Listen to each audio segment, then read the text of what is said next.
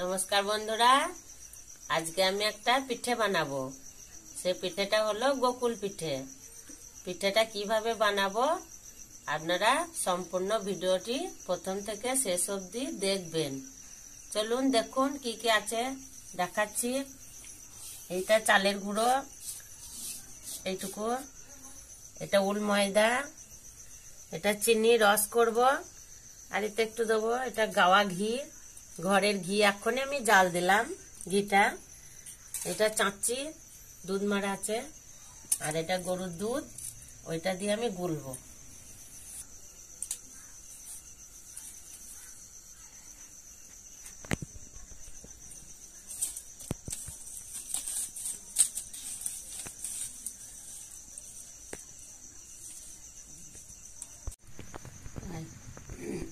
এটা চিনি, রসটা করে নেব।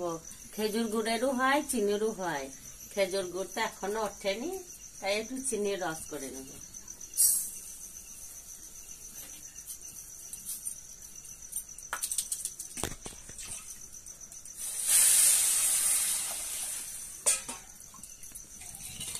রসটা পাতলা করেই করবেন, পুরো করার দরকার নেই। পিঠেটা তো ভেজে রসে দেব।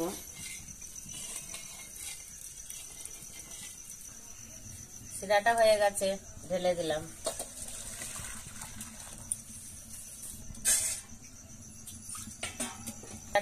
একটু লবণ দেবো।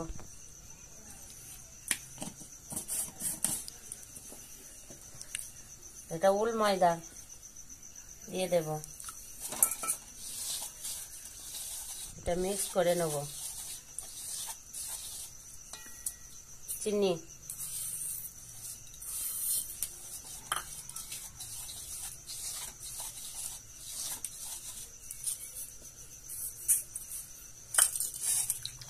দুধটা গরম ছিল বলে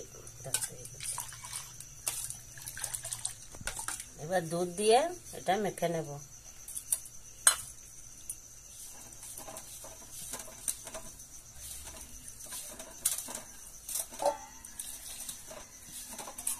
এটা দুধ দিয়েই মাখাবেন, খেতে ভালো লাগবে। গোকুল পিঠে, পাটি সাপটা পিঠে, দুধ দিয়ে মাখালে খুব সুন্দর হয়।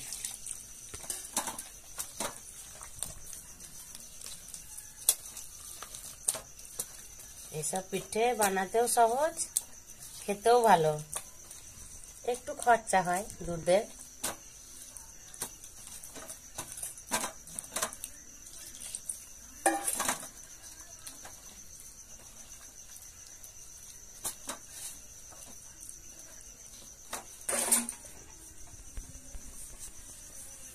এটা আমার রসটা রাখা থাকল। এখানে গুলুনিটা হয়ে গেছে, রাখা থাকল। তারপরে আমি এগুলো দেখুন কি বানাচ্ছি। এই যে চাঁচিটা এইভাবে এইভাবে এইভাবে করে নিতে হবে। এই গোল মুন্ডার মতন করে নেবেন এইভাবে। দেখুন আমি কীভাবে করছি।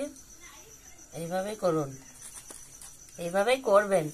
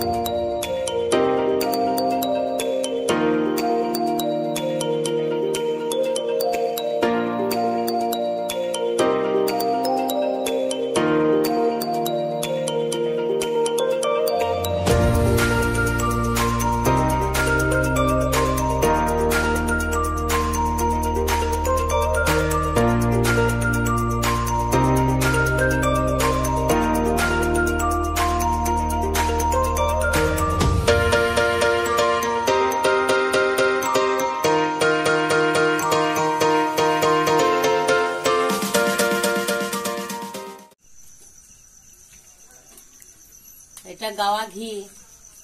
ঘিটা দিয়ে দিলাম কড়াইয়ে।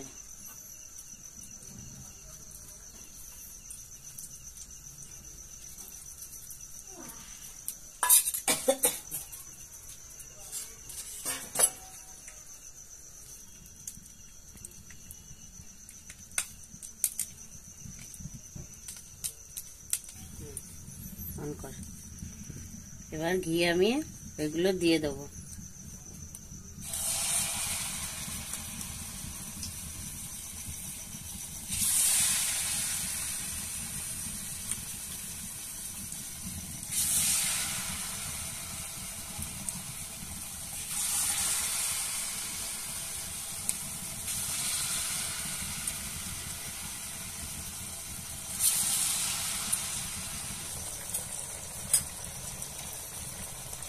এটা সাদা তেলে ভাজলে এতটা কালো আসবে না। এটা গাওয়া ঘিয়ে ভাজলে, এইভাবে ঘিটা ফেনা ওঠে।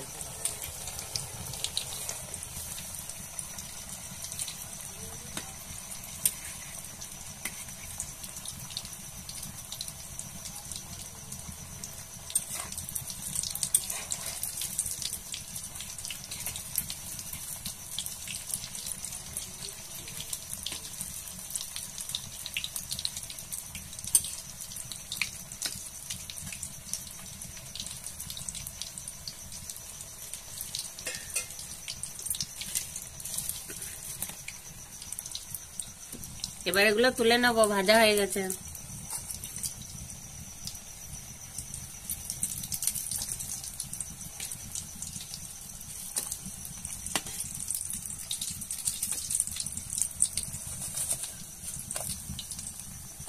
খুব সুন্দর গন্ধ বেরিয়েছে।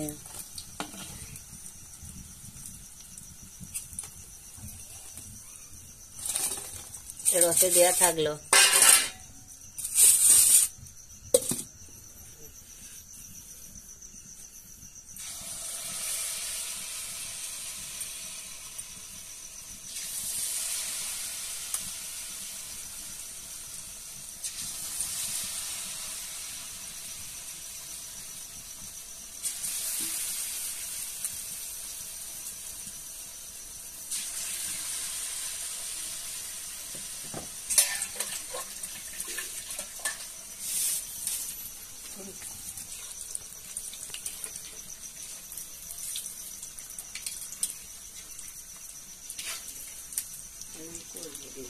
찍어줘야지.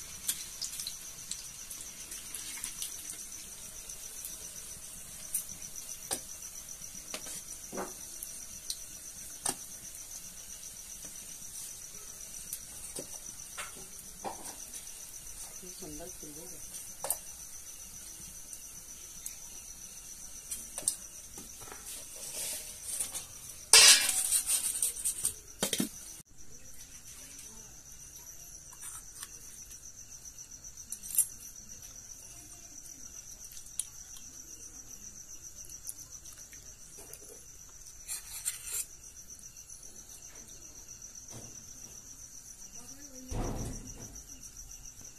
বন্ধুরা, আমি যেভাবে পিঠেগুলো বানালাম, আপনারা বাড়িতে সেইভাবেই বানিয়ে খাবেন। কেমন লাগবে আমাকে কমেন্ট করবেন। অসাধারণ খেতে। চাঁচি দিয়েই করবেন, ঘি দিয়েই ভাজবেন। খুব সুন্দর খেতে লাগবে। ভিডিওটি ভালো লাগলে লাইক করুন শেয়ার করুন। নমস্কার। আবার দেখা হবে অন্য কোনো ভিডিওতে। ততদিন ভালো থাকুন সুস্থ থাকুন।